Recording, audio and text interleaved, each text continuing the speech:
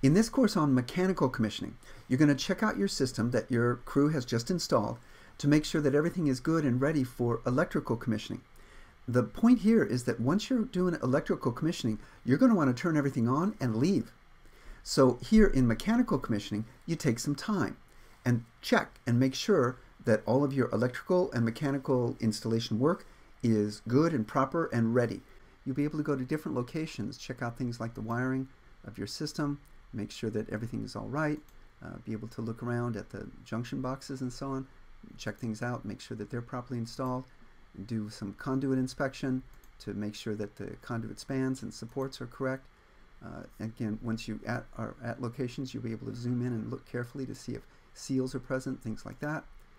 And looking at the wiring and enclosures, you'll be able to look at uh, distances and be able to double check and make sure that the spacing is correct.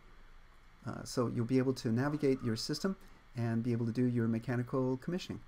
Hey, thanks for watching the training video using Interplay's simulation-based training program. You can keep watching our solar videos by clicking on the link to your left, or stay up to date on our latest solar snacks by subscribing on your right. To learn more about how the STP provides critical team training and helps you build an onboarding program at your company, please go to interplaylearning.com.